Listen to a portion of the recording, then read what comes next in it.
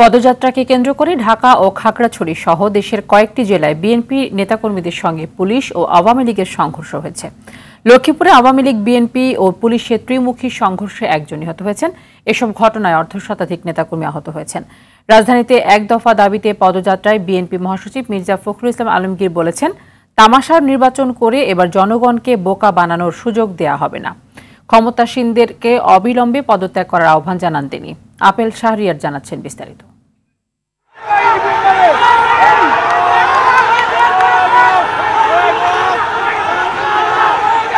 BNP নেতাকর্মীদের সঙ্গে ছাত্রলীগের ধাওয়া পাল্টা ধাওয়ারের দৃশ্য রাজধানীর মিরপুর বাংলা কলেজ এলাকায়। গাবতলী থেকে শুরু হওয়া বিএনপির পদযাত্রা বাংলা কলেজ এলাকায় পৌঁছালে এ সংঘর্ষ বাধে।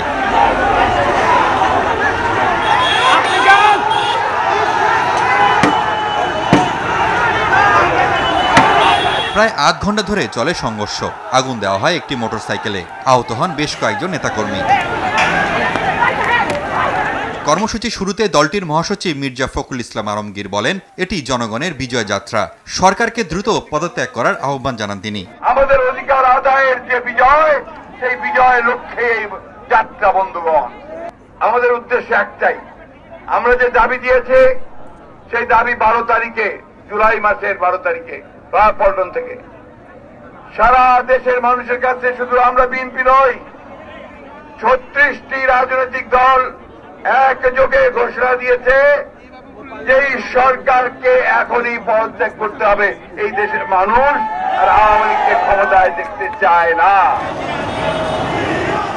ঢাকা মহানগর উত্তর বিএনপির উদ্যোগে পদযাত্রা গাবতলী থেকে শুরু হয়ে মিরপুর, আগারগাঁও, বিজয় সরণী হয়ে মগবাজারে প্রবেশ করে। মগবাজার এলাকায় যুক্ত হয় ঢাকা মহানগর দক্ষিণ বিএনপি। পরে দলটির নেতাকর্মীরা পদযাত্রা নিয়ে মালিবাগ কাকরাইল, নয়াপল্টন হয়ে রায় সাহেব বাজার মোড়ে গিয়ে শেষ হয়।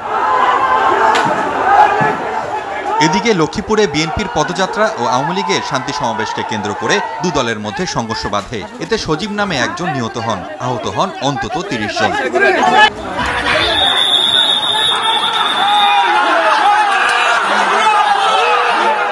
এদিকে দলটির কর্মসূচিতে খাগড়াছড়িতে আওয়ামী লীগের নেতাকর্মীদের সঙ্গে সংঘর্ষে আহত হয়েছে কমপক্ষে পঞ্চাশ জন। পুলিশ জানায়, সরকার পদত্যাগের এক দফা দাবিতে বিএনপির বিক্ষোভ মিছিল বের হয়। একই সময়ে উন্নয়ন শোভাযাত্রা বের করে আওয়ামী লীগ।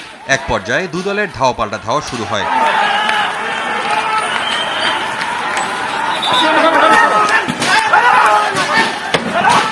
বগুড়া, ফেনী, পিরোজপুর ও রাজবাড়ী সহ বেশ কয়েকটি জেলায় সংঘর্ষ হয়েছে।